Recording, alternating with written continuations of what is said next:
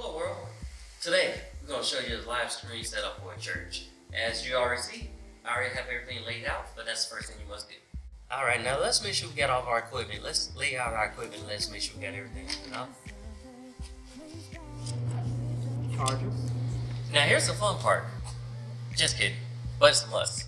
Let's make sure the Wi-Fi is turned on. Alright? Bam. That's good. Now let's go back to setting up our equipment.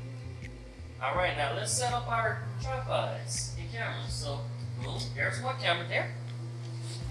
And another device right here. Everything, make sure that's plugged in. That's our cord.